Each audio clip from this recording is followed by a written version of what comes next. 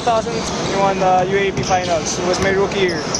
And uh, it was, it was like the greatest feeling lang talaga ever. So that's really my my goal uh, for my final years here in LaSalle. Another championship, yeah. When we practice our press, um, it's really intense and um, it's a heart and soul of uh, LaSalle basketball, so I really like it. Old player, everyone knows that he's um, aren't the star player of LaSalle, uh, pero he's still humble.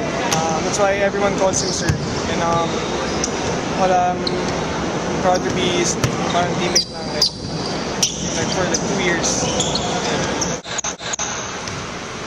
Well, I like I like sweet stuff. So to see to run, I like to run.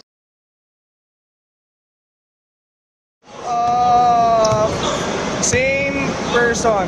Um, she asked me for a hug first, and I didn't like it. And then um, she asked for a kiss, so I said no.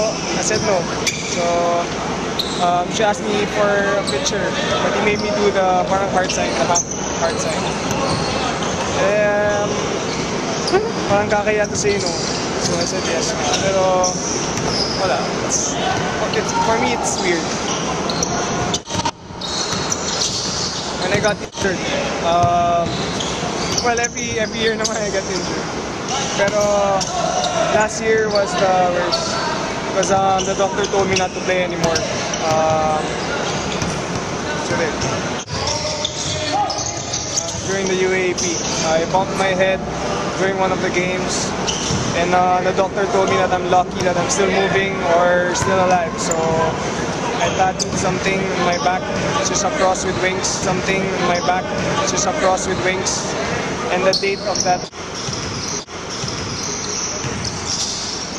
Well, it sounds cliche, but basketball is like life. Every every game, every practice, there's pressure. Um, same, wala, it's the same as life talaga. Like uh, every day you face challenges, um, you can't just turn your back. You need to face it talaga.